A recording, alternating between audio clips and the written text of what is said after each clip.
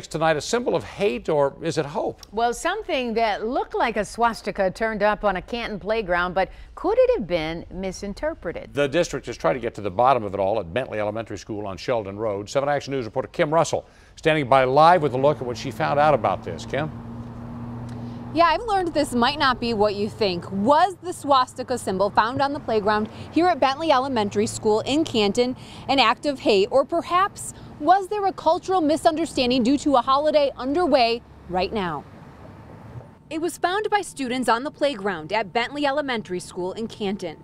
School workers saw the swastika made of wood chips and were concerned. The school sent out a robocall saying it had called police to investigate and asked parents to share any information they had. But now parents are wondering, was it an act of hate or a misunderstanding? I am hoping that it's not a hate message, but you know, at this day and age, what can you expect? I know it's sad to say, but we're just hoping for the best. I'm, I'm hoping it's just a gap in understanding.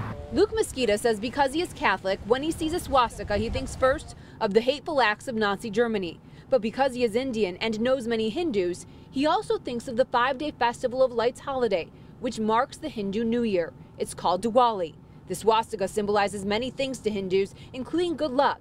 Because of that, it is often displayed on the New Year. The five-day Diwali holiday started on Tuesday, the day the symbol appeared on the playground. It's just a gap in understandings, and I'm hoping those gaps get bridged uh, through education and knowing and learning. And we got internet, so we can just quickly Google and close those gaps. and if you Google symbols of the Diwali holiday, this is what you see.